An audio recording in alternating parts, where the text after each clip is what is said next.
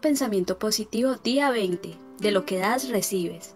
El pensamiento positivo atrae más pensamiento positivo, de la misma forma que la negatividad atrae más negatividad. Si eres amable, agradable y servicial con las personas, puedes esperar que te traten de la misma forma. Por otro lado, si eres grosero, no tienes buenos modales y eres desagradable con las personas, ellas no te respetarán y te evitarán debido a tu actitud poco atractiva o denigrante.